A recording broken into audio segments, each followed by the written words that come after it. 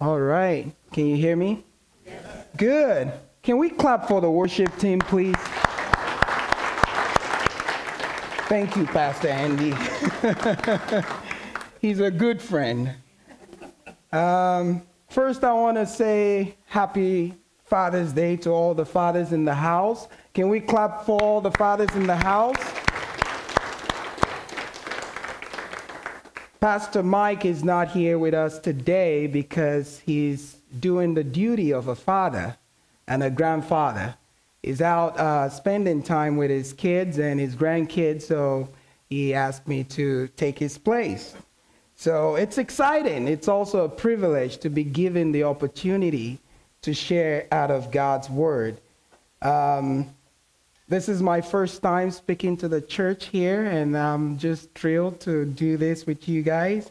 Um, it's not always an easy thing when you stand in the front of people that you're still getting to know.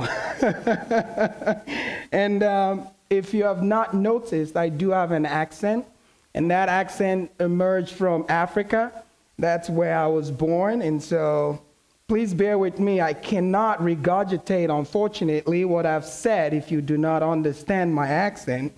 But you can meet me after church and tell me you missed a word. So put them down as we go along. uh, can we open up in a word of prayer, please? Our gracious Heavenly Father, King of glory, we come before you humbled that there is none like you. You alone are worthy. You alone are perfect. You're the King of kings, the Lord of lords, the El Shaddai and Elohim. There is none like you in all of heaven and on earth. And so, as we dive into your word, Lord, would you open our eyes and soften our hearts? We may learn something new, and not just to hear those words, but to apply them to our lives. That we may live a life that brings glory and honor to you. We love you, Lord Jesus. In your name we pray. Amen. I have a question. Have you ever found yourself in a difficult situation? One that seems impossible to solve, one that you've been feeling hopeless about. Perhaps as fathers, they always love to do projects around the house. They're either tearing down or building up. If the fence is not down today, they are mowing the lawn. And sometimes it can be like a tax, uh, task that is not able to be filled up or to be completed. But have you also found yourself in a difficult situation in your marriage, financial setbacks, or maybe health issues that you might have, or even a difficult child that you're dealing with? You've been praying for this child to come to the faith in Jesus Christ. You're working constantly on them. And it seems like all hope is lost and you cannot just cut through to them. Perhaps you find yourself in a circumstances that seems impossible to get out, some sort of addiction or things that you do in your closet. Well, I have found myself in difficult situation before, a couple times, if not more than a couple. The one that comes to mind is when I first uh, lost my stepbrother in Africa. And this is um, just so you might get to know me better. And so I'll be sharing my testimony along with the text that we will be looking at in the book of Mark, chapter 9. Growing up in Africa, it wasn't always easy. And something that might seem difficult in Africa, in a developed nation, might not seem so difficult anyway. So when I share my testimony, do not look at it as though if it were in America, that's not a difficult situation at all. Everything is difficult at different level depending on where you are and what make it impossible. In Africa, if you're not educated or you don't go to a good school, getting into any sort of job is the most difficult thing you would encounter. Until today, we're being told that you have to go to a certain school, you have to attain a certain degree so that you can fend for your family. So when I was growing up and I started my national diploma in mechanical engineering, Sonny, who was my stepbrother, told me, Olu, um, once you're graduated from your national diploma, I'm going to send you to one of the best schools in Abuja, Federal Capital Territory. Well, a few weeks to Sonny's wedding, a few months before I graduated, Sonny passed away. And when Sonny passed away, I felt that all hope was lost and that I found myself in an impossible situation that I would not go to that school. And that would lead to not being able to get a job of my choice.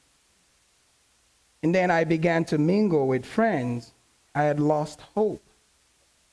I had put my hope in an individual Today, as we dive into Mark chapter 9, verse 14, reading up to 29, you will find a father who found himself in almost similar predicament, a problem that he's been trying to solve for so long.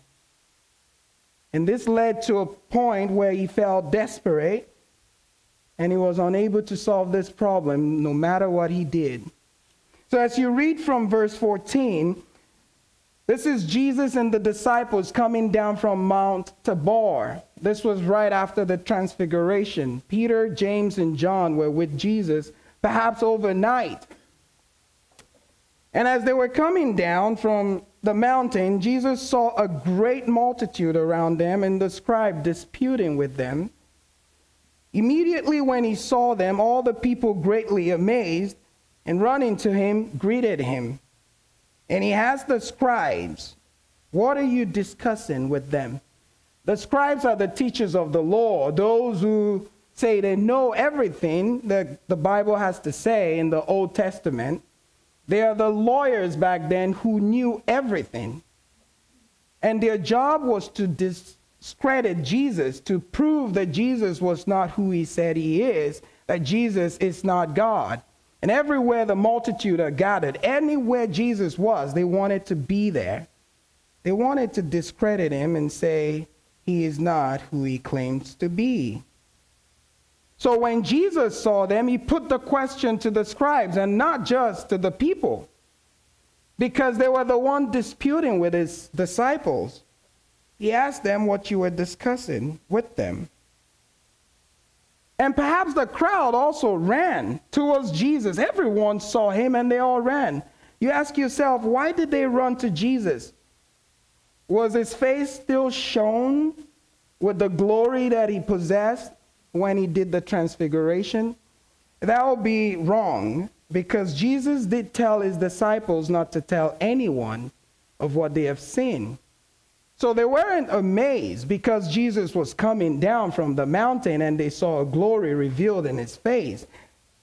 But perhaps they were amazed because nine of the other disciples have been struggling trying to cast out this demon from this boy. And now it was time that they saw Jesus. So if this is difficult for the nine, it perhaps is difficult for Jesus to do. And how often do we assume that what is difficult for the best amongst us can be difficult for God too? We do that all the time. I do that. If a doctor tells me that you are in a predicament and your life will be cut short, we simply believe that. Instantly, we begin to react on that and say that is true. We believe that when someone who knows how to build everything, they are only the people you can go to. In fact, nowadays, people do not do research themselves anymore. It's all about what this person will tell me that makes me believe that that is true. How often do we listen to the news and the propagandas that you see on there? The news or the media has become the most powerful entity because it has the ability to control the minds of the people. The people simply believe what they hear because they believe it's coming from the right source. And sometimes we do that even with God, believing that He He's unable to do it because we've seen this guy's unable to do it. So they ran to Jesus. But while Jesus was asking the questions to the crowd, out of the crowd answered one, saying, Teacher, I, he interjected, as Jesus was asking, he cut the crowd off and he said, Teacher, I brought my son to you who has a mute spirit. From verse 18 now, and whenever it seizes him, it throws him down and foams out of the mouth. He gnashes his teeth and becomes rigid. So I spoke to your disciples that they should cast it out, but they couldn't. This father cuts through all of the crowd while Jesus was still asking the scribes. He didn't allow them to even give an answer. Teacher, in the same book of Matthew, chapter 17, this same story is there. It's also in Luke, chapter 9, verse 38. You read down in context, but those two synoptic gospels did not have the complete story like Mark does. And so, if you want to get the full picture of what was going on, you would have to look at what Matthew said and what Luke also said, because there are parts in Matthew that are not in Mark. And that proves that the Word of God is true and is written down by people who God used their personality to write His Word. Have you ever been in an accident or seen a scene? Uh, they actually did a, a survey and they picked three people out of the chaos, and their viewpoint was different. There's always a slight difference about what they have. That's how you can know that this Bible, the Word of God, was written by people who were eyewitnesses of something that truly happened because they did not just copy from one text to the other. It's powerful.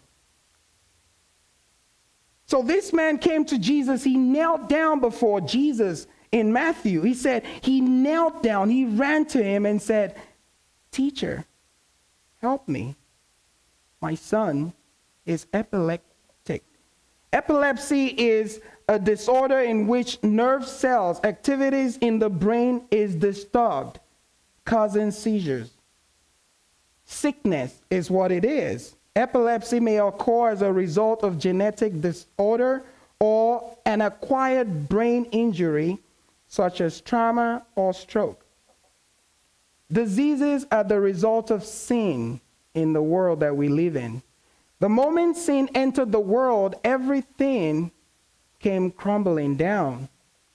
When God first created everything, He didn't create it so that they could die. He created everything to live for the longest time or forever. But when sin came into the world, it brings about sickness, death, brings about hatred, selfishness. In fact, the DNA of sin is selfishness. And sickness, diseases, is a result of sin. Whatever difficult situation you are in in this world is a result of sin. Are you trying to find a job? Are you losing hope in that marriage? Or has your loved one even departed from you? People are selfish in our world today and they cease to do those things. But how does the enemy do that? Sometimes we simply just point to the enemy and we say this, but sin also exists. So what happens? You see, the devil himself, our enemy, uses the circumstances as a means of torment or torment in our lives. When a person has struggled with whatever you would call it, maybe saving their money or just not spending it lavishly, the devil uses that same thing as a point of torment for them. When a person has a problem with drinking, the devil uses your problem as a, uh, as a point of torment. When a person is sick, like this boy with epilepsy, now we might look at it and say, well, if it was today's word, the doctors would have healed this boy. There's so many things we see in the Bible and we say, oh no, that's not really a miracle. But have you really thought about it? That the devil was using that boy's problem, he possessed him, and he used this problem to torment him.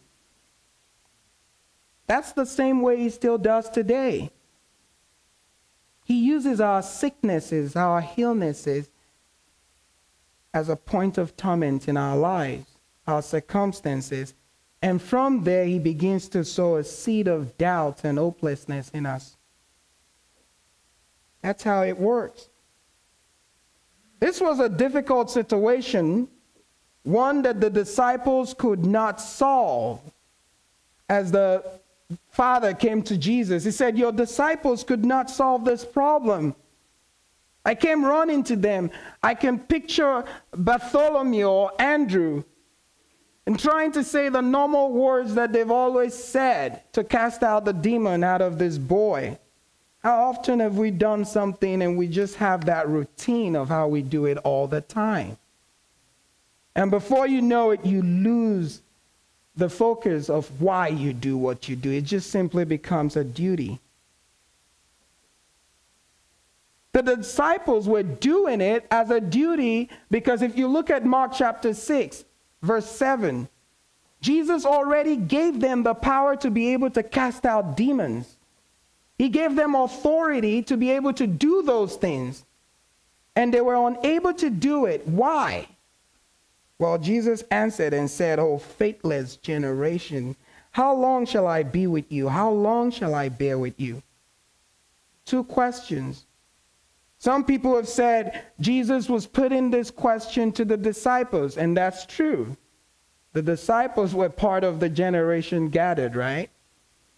But I think that the second question, how long shall I bear with you, goes to the crowd and the scribes who were there, who were always trying to discredit Jesus, because a generation definitely is a group of people, not single singling out one person. But Jesus first proposed, How long shall I be with you?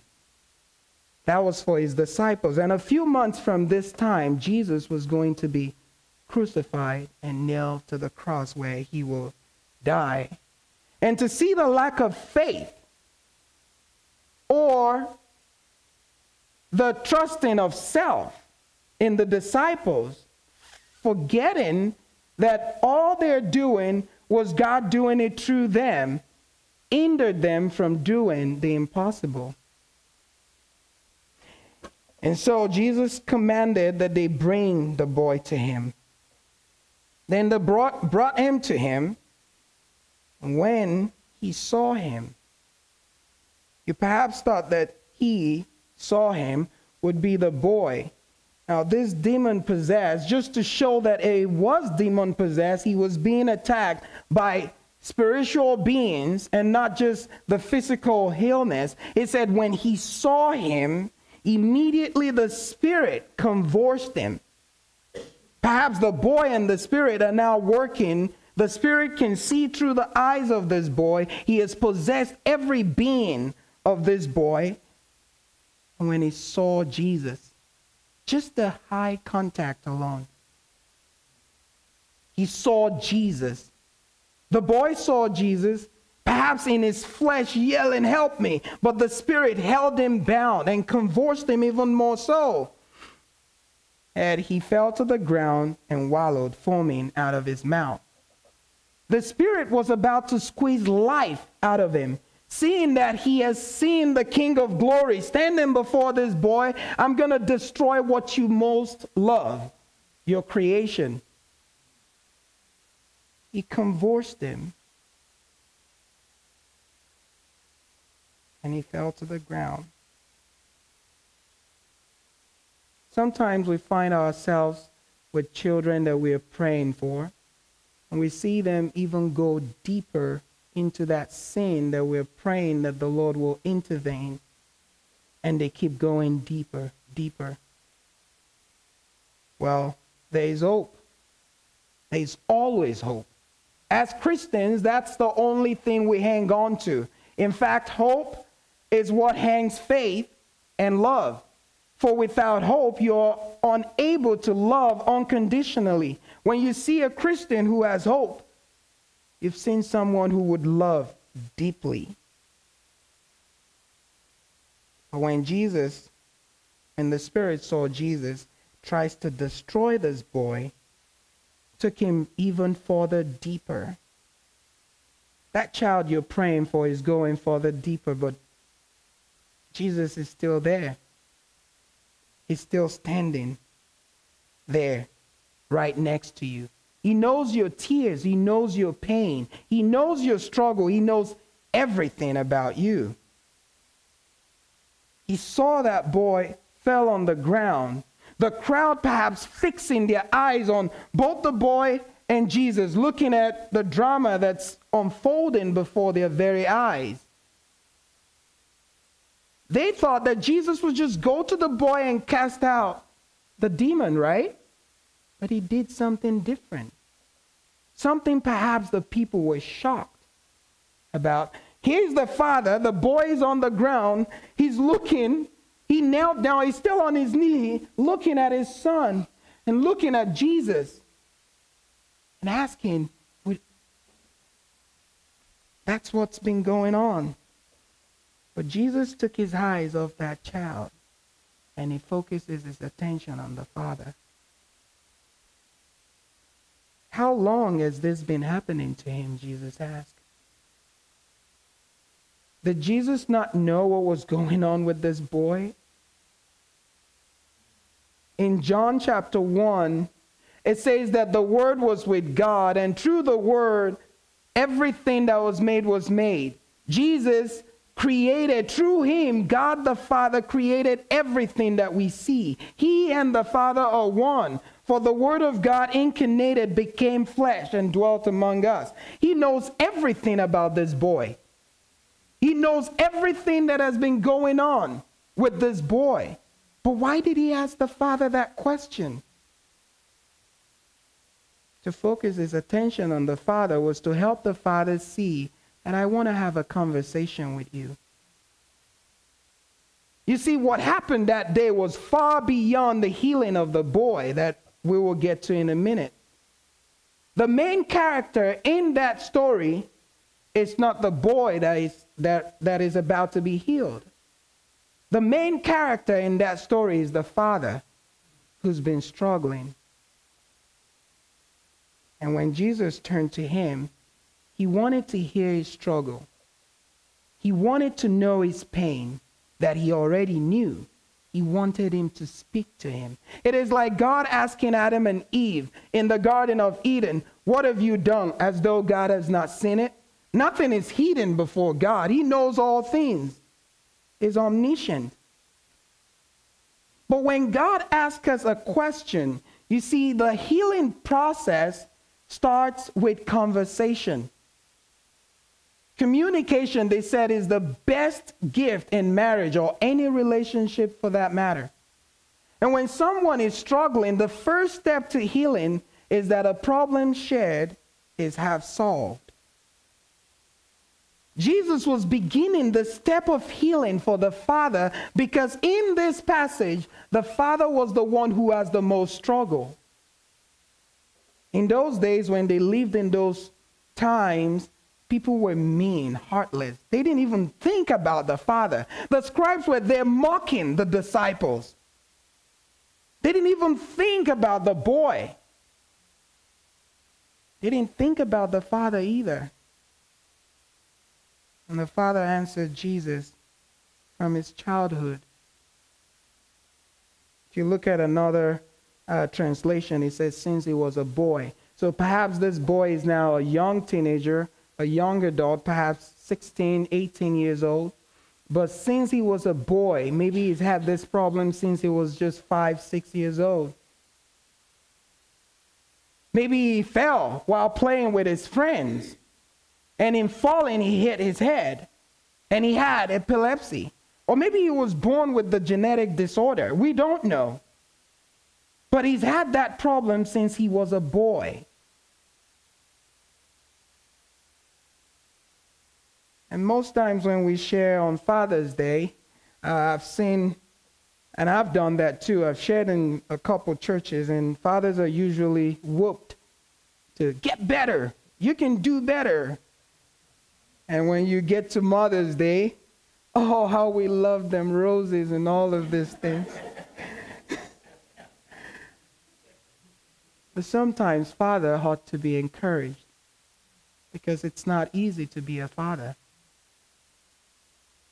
Father ought to be come alongside and encouraged and motivated and also to be thanked for what they do. True fathers ought to be celebrated.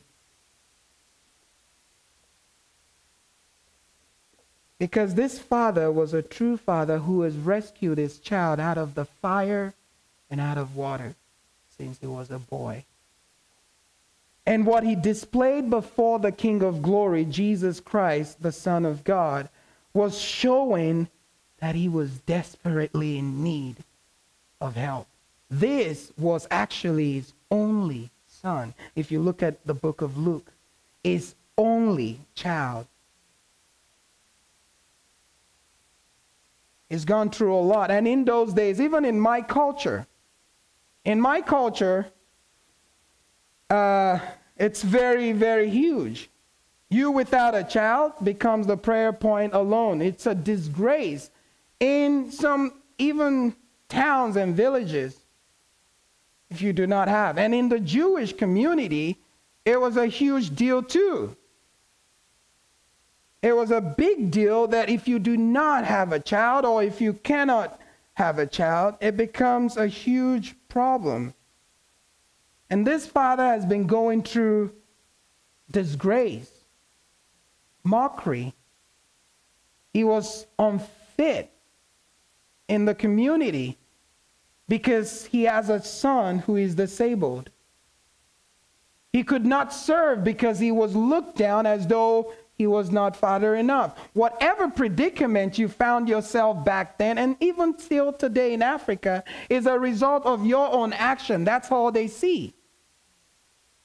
They see God doing this to you because you've done something wrong. So when something wrong happens in your life, it's simply saying that you've not gotten your way straight with God. You cannot be put in the post of a leadership because you don't have a child who follows the Lord. You cannot be listened to because you don't have a child. And people think that you do not understand the burden of raising a child. But that is not true. For my wife and I, have no children just yet according to God's will. But we can tell you wholeheartedly that in the ministry that we do in reaching out to children, we understand children and we love them with all of our hearts, with all of our soul. And we trust that in God's own timing, whatever his plan is, it will bring it to pass. But here is a father who is going through ridicule, who has been put it at a point of desperation. So he came to Jesus and he said the most crazy thing that if you can do anything, have compassion on us and help us. How many times has our problems or struggle cloud us we stand before God, very God Himself, and we ask Him if you can do anything. The God of all possibility, the one who spoke the heavens by the words of His mouth, we stand before Him and we say, if you can do anything. You can read that text and say to yourself and ask yourself and say, I will never do that and ask Jesus if he can do anything. But you and I do that every single day. You and I do it more often than you would even think. Sometimes we read the passage and we apply the application that applies to us to the life of the characters in the Bible. But the Bible was not written for those who just leave then, it was written for you and I. And every character in that Bible can represent us at different times in our lives. Is it someone struggling with faith? It applies to you. Is it someone struggling with loving others? It applies to you and I. Because there are some people in our lives that are just difficult to love. We do it every time. The hardship, of having his son go through the troubles and the problems since he was a child has put the father in a desperate situation of seeking any amount of help. When was the last time you were desperately in need of help? Who did you run to? A friend? A family member? What is the source of your comfort in difficult times? Do difficult times make us question God's power to do the impossible? That's a question you and I ought to ask ourselves when we leave these places. When I'm in a difficult problem, who do I run to? Sometimes I run to the wrong places myself. We ought to run to the cross. We ought to run to Christ and fall at his feet and say, I'm undone. I need you.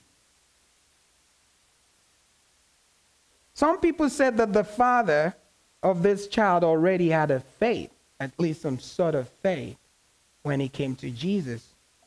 That this father has some sort of faith that it made him approach and at least bring his child to Jesus. Well, let's play the scenario back. A man lives somewhere in Galilee, has heard so much about Jesus and the healing that he's done. He's had this problem for 12, 10 years. And he heard of a miracle worker, someone who could do things that marvel people. What did you think he went for? Did he believe that he was going to heal his child? No. He was desperate. I ask ask my wife just to make sure I get that point right because sometimes your best critics are those who love you the most. and she does it graciously. So I ask, honey, if we were to hear that there's a man in San Diego who is able to speak or lay his hands on you and say, be pregnant, and you will be pregnant, would you believe that? She looked at me with a ridiculous look on her face and said, Yeah, right. I'd say that the same thing is this man was not having faith, but he was simply desperate to go. Maybe if my wife was to hear that, or someone else said, Oh, he, he does do that. He can say it and you will get pregnant. And maybe she heard it from 10, 20 different people testifying to how this guy. Well, let's go check it out. There is a question of perhaps, maybe, oh, let's just go check it out if the desperation is there. But we ain't going to San Diego, honey. I'm just saying. this father wanted to go check it out.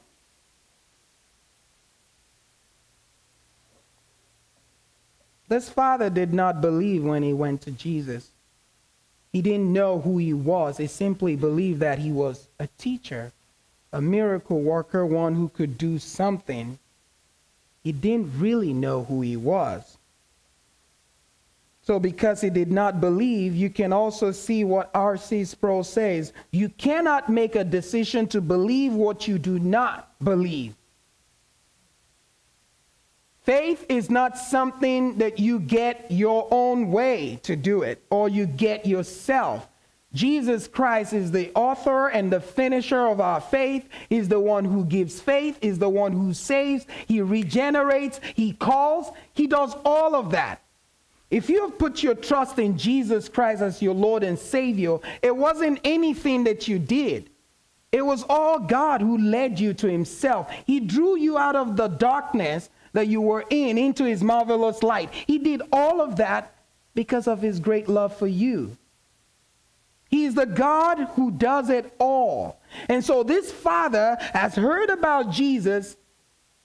He didn't know or believe that he was the Messiah.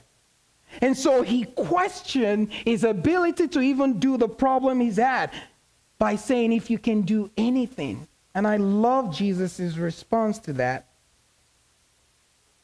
Jesus said to him, If you can believe, and some people might say, Is Jesus saying to the Father that believe that I can do it? If you don't believe, I'm not going to do it. Well, that would be ridiculous because why then would Jesus have blamed the disciples for the lack of the Father's faith? Well, perhaps they couldn't cast out the demon because the Father had no faith to believe that his child can be healed. So it would be wrong of our Savior to have said that to his disciples and asking this father that if you believe, then I'm going to heal your child. No, no, no. There was more to it. Jesus was not saying to believe and then I'm going to do it. He was saying, if you can believe who he was as the Savior, the Messiah, all things are possible to him who believes. Do you believe I am He? Uh, Pastor Mike said it the other uh, last week, talking about who God, Jesus is. Not just a teacher or a miracle worker, He is God, very God. And He's wanting this Father to see who He was. The best thing God can ever do to any of us is to reveal to us who He is. The book of Job is my favorite book in the Bible. And what God did was to reveal himself to Job of who he is. If you can believe, all things are possible. In that moment, the seed of faith was sown and the increase was given right there and there. The father's faith was birthed to life. The father said, immediately, the father of the child, he cried out and said with tears in his eyes, Lord. That was the first time he called him Lord. And this Lord means you are the Messiah. I believe you are God. At first, he called Jesus teacher, and then now he's calling him Lord. I believe you are Lord. Help my unbelief. If you've believed in Jesus Christ and maybe 50 years, 60, 10, just now before the communion happened, or you put your trust in Him right there, doesn't matter how long we come to faith in Jesus, we all have the tendency, we all have doubts. Some are just I and some are a little bit, but it doesn't matter. Doubt is doubt. And that's why this sermon is called A Doubting Faith Made Sufficient. The father had a faith that was doubting, but his faith was not, Are you God? If you're God, can you do that? That's a doubt that is sinful. And that's a wavering faith of coming before God that will never have an answer to. So there is a place in the scripture, in the New Testament, that he who comes to the Lord with a wavering faith should not think that he would have anything. That's questioning the deity of God. But there is a different doubt that this father has. I believe you are God. You said you will because all things are possible. But this problem is so great. I've tried everything. Now I question if it's possible that this problem can be resolved. There's a difference, a huge difference. That is humility revealing his weaknesses before God, saying, Help my unbelief. I have doubts. Can you help me? Help my unbelief. As Christians, when we have doubts, it is fine to come with those doubts before the one who can help our unbelief. Are you having doubts about that child? That they will be saved? That he, sicknesses?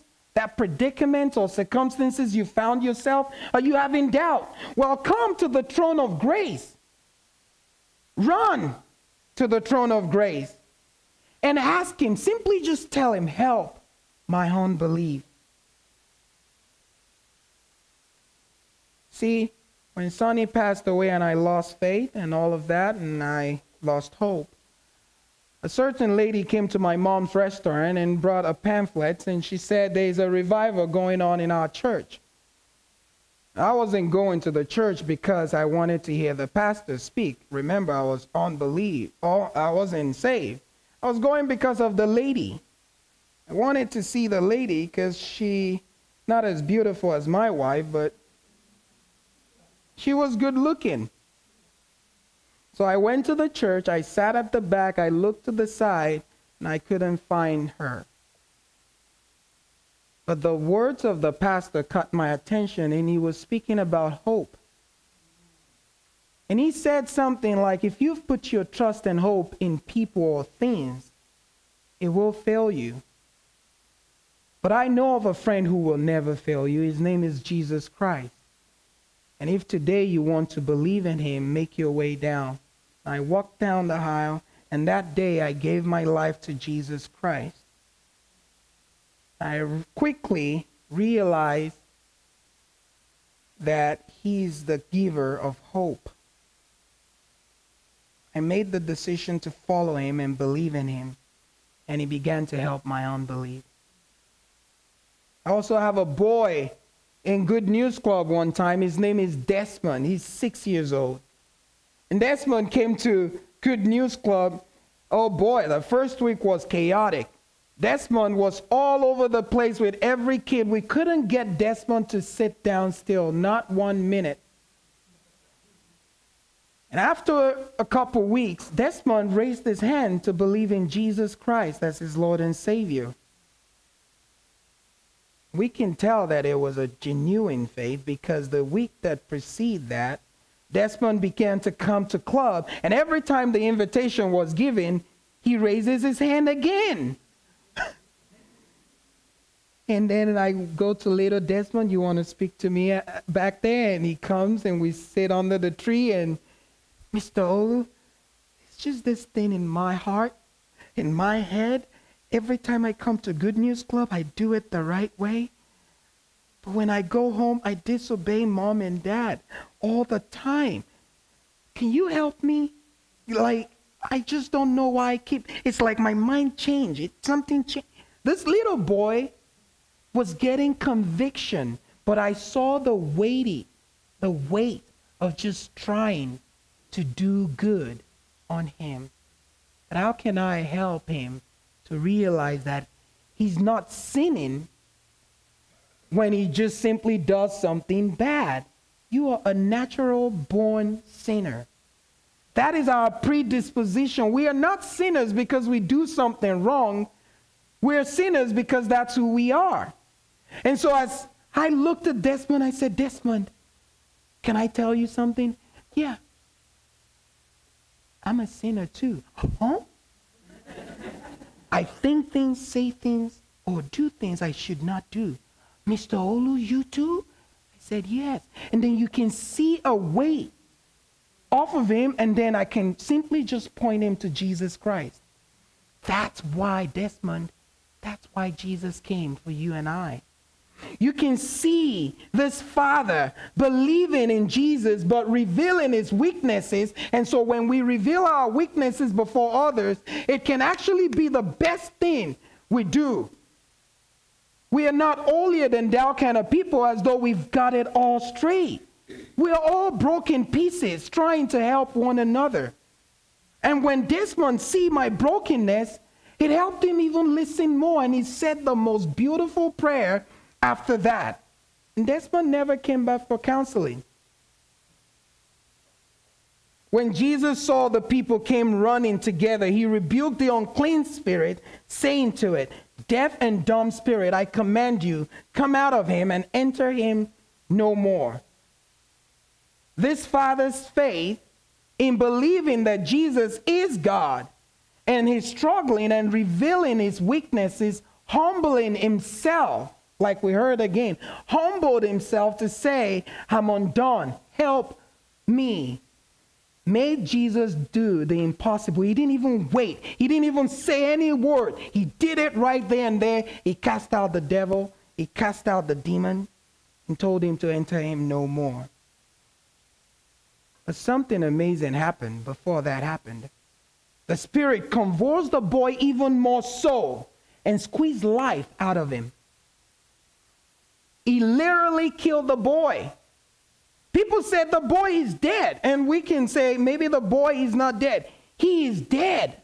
But Jesus took him by the hand. Two miracles in one child. And he lifted him up and gave him life. That can skip our mind. He gave him life. He gave me life when I came to him.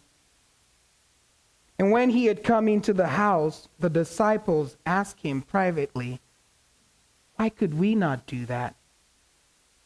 And Jesus replied, They came privately because they were disgraced. They were ashamed of themselves of not being able to do it. So he said to them, This kind can come out by nothing but prayer and fasting. Prayer is talking to God and bringing our circumstances before Him, asking Him to do the impossible. And now there are four questions on here. If we slide to the next one, would you prayerfully consider the following questions? What are some of the difficult issues in your life? Are you bringing them before the Lord? In what way are you seeing the Lord work in your life? Through these difficult experiences you might be going through. How can you comfort other people with the comfort you're experiencing in your storm? It's not about if I'm going to go through a difficult time, it's all about when. There are some of us right now going through that path right now. I would encourage you to go before Jesus himself and cast it at his feet. If you have experienced some difficult time and you know people in this church who are going through similar things, could you come alongside them and love them and encourage them and comfort them with the comfort you have received? That is what it's all about. And we're planning to go to a new building. And when we do that, as people come in, it is the comfort that we have received that they see, that they are being comforted too. It is how we love them, how we speak to them, how we see them, and how we see ourselves that enables people to walk through that door and say, I am loved no matter who I am. Or maybe you're here today and you've never believed on Jesus Christ as your Lord and Savior.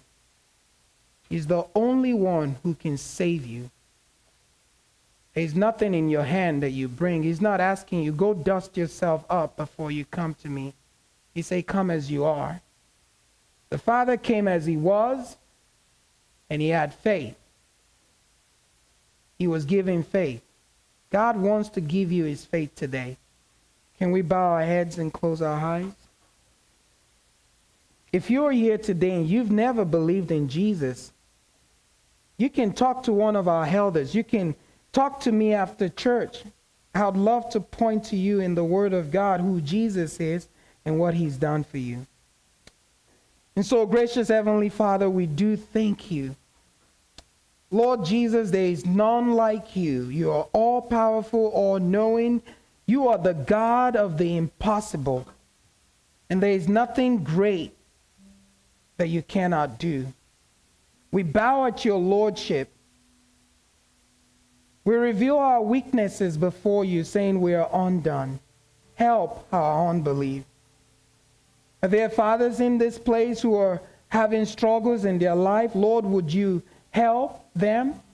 Would you help them to know that they can bring their troubles and struggles before you? And it is okay for them to reveal their weaknesses even before those children. We give you all the glory. In Jesus' name we pray. Amen.